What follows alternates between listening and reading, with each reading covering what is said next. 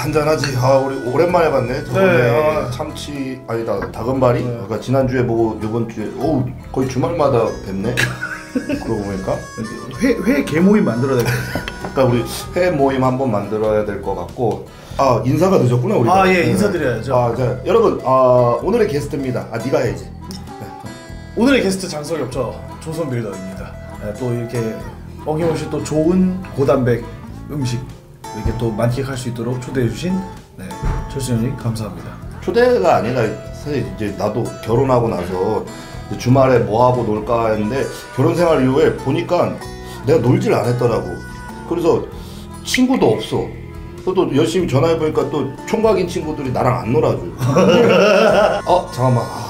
아, 성엽이가 있었는데 성엽이를 볼까? 아 근데 이게 또 지방에서 올라오기 힘들 텐데 이거 볼까 말까 하다가 아니나 다를까 또 연락하자마자 바로 엽스 내일 데이트 가능? 콜 그래서 바로 바로 한 방에 응? 나는 잘 먹는 사람 좋아 아. 음식을 남기는 거 싫어하고 음식에 대한 조예가 깊은 사람 그리고 먹을 줄 아는 사람 음. 빨리 한잔 하자 아 예, 그럴 수밖에 없고 알코올이 증발하니까.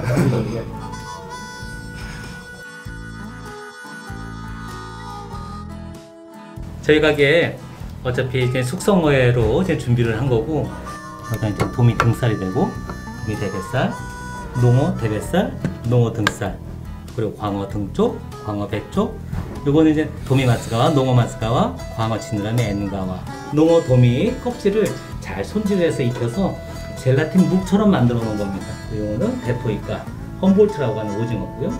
요거는 이제 혼막으로 적신 합감이죠. 다마도로 중에서 나왔던 배꼽살 참치입니다. 그렇게 하고 찐전복, 프레시한 전복 이렇게 준비를 했습니다. 어 그쵸 네. 그러니까 사람들이 그래요 이제 방송에 나온 것만큼 이렇게 푸짐하게 나오냐 니네 카메라 들고 가니까 이렇게 많이 나온 거 아니냐라고 이렇게 되게 오해를 많이 하시는데 어 여기는 정말로 혼자 오나 둘이 오나 상다리가 부러지는 어, 그런 가게입니다 음식에 대해서는 정말 아끼지 않는 어, 우리 셰프님이 계신 어, 진미라는 일식집입니다. 그 정말로 어, 재료 아끼지 않고 음식의 정성이 다 보이고 그냥 비주얼 자체로도 일단 배부른 것 같아요. 근데 또 이게 끝이 아니야 또. 근데 계속 이제 나오니까 문제 이거 빨리 먹고 보내야지 또 새로운 네, 애들이 맞습니다. 들어오는데 일단은 어, 바로 시작을 해보도록 하겠습니다. 일단 잘 먹겠습니다. 맛있게 고맙습니다. 드시고요. 네. 고맙습니다. 잘해주세요. 맛있게 드십시오. 네. 자 일단은 아, 요즘은 방어철이니까 지느러미 쌀부터 먹어보겠다. 음 맛있네. 이거를 이제 등살을 회로 나오잖아. 아, 지금 이거 회예요? 어. 나 랍스터 회는 안 먹어봤는데. 이런 슈퍼스타가 랍스타를 못 알아봐. 랍스타 등살은 회고 여기는 나중에 이제 뭐 라면이나 탕 끓일 때도 끓여주고. 그때 형님이랑 이거 유튜브 방송 찍고 나서 어. 그 방송용이 아니라 또 이제 그 말로만 듣던 철순 포차를 가봤잖아요. 어. 그날 저 집 가는 길에 와 진짜 다금발이 안 했으면 토했어요. 아까워서 내 토를 못했어. 회로 배 터지는 날은 그날이 처음이지. 네. 어 이건 차돌박이 아니에요? 차돌 차 차돌박이 아니에요? 차돌박이. 참치 배꼽살.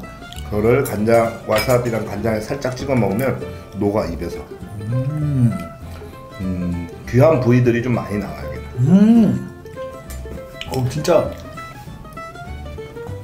저 음식은 꼭꼭 씹어 먹어야 돼. 녹, 녹진 않는데. 방송이 되려고. 아 형님 요즘 주작하면 하마에 가요. 큰일 나요 형님. 아니 난 녹았어. 아 그래요? 어. 제 침샘이 아니고. 그러니까 너 침에 산성 성분이 부족한 거 그래. 아직 지금 제가 안 먹. 거의 뭐 이거 수족관에 있는 게 다 나온 것 같은데 일반 그런 횟집 같은 데는 그날 잡은 회를 이제 다 먹든지 이렇게 하는데 여기는 이제 또 숙성회야. 그래서 이제 부위별로 다 있고 회도 종류별로 다 있고 되게 다양하게 즐길 수 있는 거. 건강하시네 형님. 이 오징어 찜을 그리고 오징어. 그렇죠. 오징어를 요거는 중식풍으로 이렇게 찜 요리를 했어요. 요거는 왜? 도미머리, 아, 굴소스, 도미머리. 네, 굴소스를 가지고 찜 요리를 해봤습니다. 형 그런 거 있어요 형님은? 이런 거 이제 형이 어떻게 분신이 생겼잖아. 그 리우가 형님을 생각했을 때 어떤 아빠로 기억됐으면 좋겠어. 글쎄 어 그런 거 있잖아. 아빠가 황철순.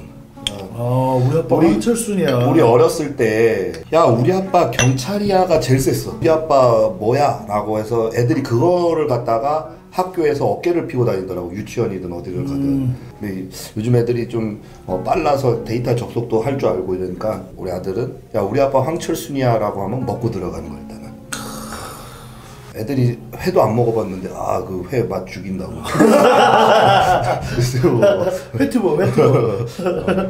아빠가 황철순이다 했을 때 어, 부끄럽지 않을 정도가 되는 게 좋은 거지. 돈 잘 벌고 뭐 해주고 싶은 거 이런 건 모든 부모의 마음이지만은 그래도 아빠가 어, 이- 누군지라고 얘기했을 때 뭘까 부끄럽지 않은 아빠, 자랑할 수 있는 아빠.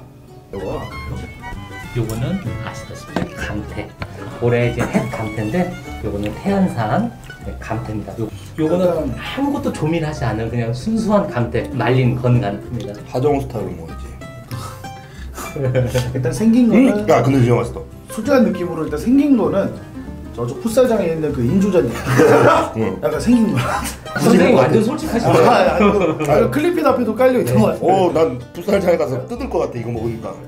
혈액성. 이게 약간 그 진짜 맥주나 이런 거 마른 안주로 먹기에도 되게 좋을 것 같아. 맞아요. 음. 풋살장 인조잔이가 이런 맛이라니.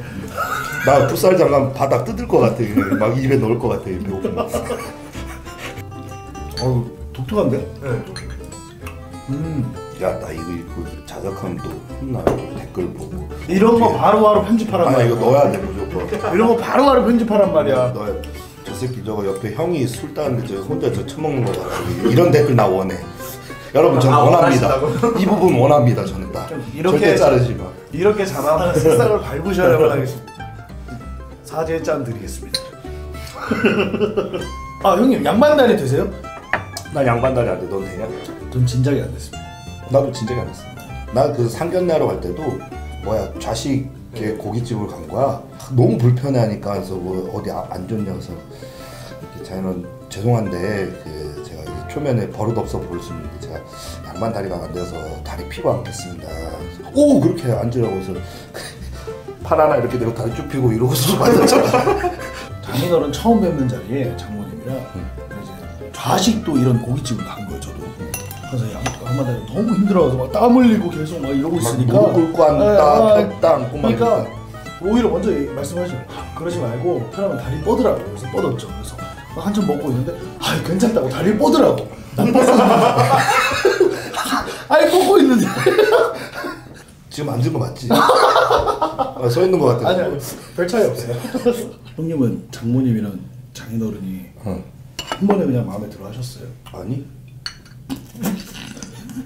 왜냐면 누 이제 자기 딸이 누굴 만난지 알면은 검색을 해보잖아. 그쵸, 그쵸. 난 검색하면 다 안 좋은 거밖에 없어. 어, 안 좋은 게 어떤 거 있죠? 뭐 9시 뉴스에 나온 거밖에 없어. 뭐 그런 그런 건가요? 뭐 챙겨진 사람을 쳤다고. 어.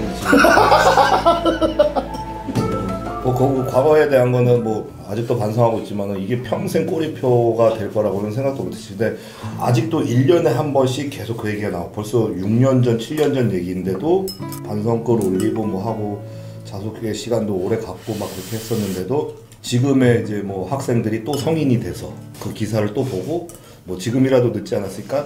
뭐 사과 방송 해라. 매년 해야 돼. 미쳐. 아뭐 하라면 얼마든지 할 수 있는데 아 이게 그 정도일 거라고. 근데 가족들도 그걸 제일 먼, 먼저 보니까 꽤 오래전 일이고 그거에 대해서는 뭐 죄값을 누구보다도 혹독하게 치렀다 생각했었는데도 아마 내년에도 또 그럴 거야 이제. 유튜브는 두 명만 할 수 있을 것 같아요. 유재석 아니면 예수님. 유튜브가 진짜 무서울 정도로 자기 생각에 글을 남기기는 편하더라고. 정말 유튜브라는 게 양날의 검인 것 같아요. 아니 잘해도 욕 먹는데 잘못하면 매장이지. 저라는 사람을 알아보는 게 있다는 게 신기해요. 보통 저는 이제 그 자이언티 친구로 많이 알았었는데 이제는 조선빌더 장성엽이라는 사람으로 알게 되니까 그럼 좋은 거지. 너의 브랜드 가치가 이제 입증이 된 거지. 그거랑 이제 비례적으로 뭔가 불특정 다수에게 제가 좀 감시당하다고 느낌이랄까. 감시가 아니라 관심이지. 야 너도 관심 없는 사람 그렇게 이렇게 지켜봐? 눈여겨보진 않잖아. 그렇죠. 관심 있으니까 그렇게 사생활도 조사해보고 잘못이 있으면 욕을 하는 거고. 항상 얘기했잖아. 그런 것도 그런 거에 질타나 뭐 악플도 인기에 대한 세금이라고 생각하라고. 네가 인기를 얻지 않았으면 그런 말 없어. 인기가 있으니까 그런 말 나오는 거죠. 받아들여라 강민아. 어, 헬창이는 성공했네.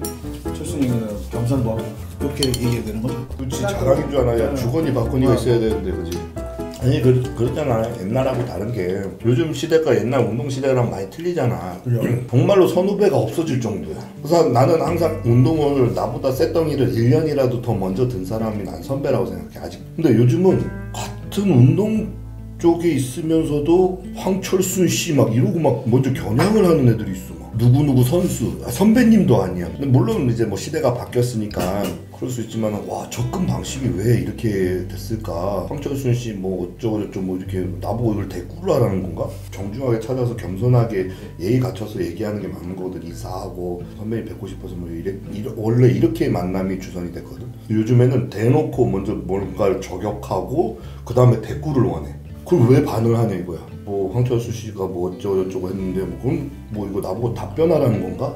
아, 내 한참 후배 후배야. 그러니까 내가 그 친구한테 뭐라 하기도 그렇고. 그래서 와 이게 세상이 나는 그래도 위계 질서라는 거는 어렸을 때부터 그렇게 배워왔고 지금도 나는 그렇게 생각하고 있고 내 위에 선배는 당연히 선배 그리고 요즘 시대 선배들은 후배들한테 딱히 큰 도움을 받을 게 없어 뭐냐면은 후배들이 찾아와서 우리는 하다못해 뭐 운동도 알려주지만 뭐 대회 나가는 방법 그리고 대회를 준비하는 그리고 어떤 대회 소개까지 그리고 그뭐 비행기 타는 방법까지 다 알려주고 뭐 운동뿐만 아니라 식단 그리고 뭐 조절하는 것들 다 알려주고 하다못해 끝나면 또 밥도 사주고 하다못해 술도 사주고 선배로서 다 그렇게 하는 거야. 사실상 후배한테 얻을 게 거의 없어 사실은 요즘에는. 근데 그걸 갖다가 선배 입장에서 뭔가 후배한테 뭔가 얘기를 하면은 꼰대 소리를 듣는 거야. 가오 잡는다 선배라고 내가 봤을 때 그 꼰대나 가오는 아무것도 해줄 수 없는 선배 위치에서 단순히 나이만 많다고 군기 잡는 애가 꼰대지. 사실 우리 선배 세대들 우리 선배 쪽은 정말로 후배들한테 해줄 수 있는 게 많아. 근데 얘네들한테 우리가 뭐 돈을 받고 해주는 게 아니야. 예의 바르게 정중하게 그리고 겸손하게 다가와서 요청을 했을 때 오케이 했을 때 뭔가 하나라도 도움을 줄 수 있는 위치인데 도움을 받으러 오는 애들이 싸가지 없게 하거나 당연히 뭐 선배로서 그렇게 해- 해야 된다? 그러면 만날 이유도 없고 알려줄 필요도 없어 그럼 적이 될 거면은 저격을 하는 거야 그냥 내가 너한테 와가지고 야 선배님 와서 와서 계산 좀 해라 이런 거 아니잖아 아 저는 강민이한테 자주 그래가지고 우리는 후배를 안 보는 게 오히려 속이 편해. 근데 뭐 하나 얘가 실망해서 뭔가 글 올려버리면은 우리는 안 하니만 못한 게 되거든. 이런 게 갖고 있는 게 많아도 선배로서는 또 이게 부탁하기도 어렵고 뭔가 좀 배우기도 좀 어려워. 알려달라 하기도 그래. 근데 후배들 입장에서는 도움을 요청하는 거에 대해서 이상한 게 아니거든. 후배 입장에서는. 선배 입장에서는 도움 요청하는 게 되게 힘들어. 강민아 미안하다. 아까도 전화 통화할 때 밥 맛있는 거 사달라고 너한테 얘기했는데 미안하다. 자 오늘 어, 바로 이것은 진미입니다. 진미라는 곳이 어, 일반 단순하게 회가 나오는 게 아니라 여기 셰프님이 엄선해서 그, 그때 그때마다 새로운 메뉴 개발을 해서 다양하게 나올 수 있는 곳이에요. 여기가 또 바로 저희 클린핏 어, 한 15m 정도 바로 옆집입니다. 코스 요리로는 정말로 제가 본 데 중에서는 비주얼도 좋고 또 사장님도 너무 친절하고. 그러니까 회를 저는 좋아해서 횟집을 이제 주로 가지만은 또 같이 가는 이제 뭐 지인들이나 이런 친구 중에 또 회를 못 먹는 사람이 있어. 그렇죠. 그러니까 여기는 정말 많은 게 익힌 음식부터 해서 튀김 요리부터 해서 탕 요리까지. 어, 호불호가 그렇게 크지 않는 어, 그런 음식점 중에 하나라고 생각하기 때문에 어, 강추해드리는 곳 중에 하나입니다 저는 바로 들어와 저도 동감합니다. 자, 오늘 어, 우리 유부남 클럽이죠 우리 장성혁 어, 브라더와 함께 어, 또 주말을 이용해서 어, 간단히 간단히가 아니구나 또 대식을 했구나 또. 그렇죠. 또 아나볼릭하게 오늘은 뭐 음식점 소개를 하기 위해서 뭐 순수하게 이 음식에 대한 어, 리뷰만 이렇게 나겠지만은 저희도 이제 사적인 속마음을 얘기하러 뭐, 뭐 2차를 가야겠죠. 이제 카메라 끄면 음담 패설부터 해서 아주 그냥 다 나올 것 같아 그냥. 엔딩 초 빨리. 네 이상 조선빌더 장성엽이었습니다. 고맙습니다. 가- 감사합니다.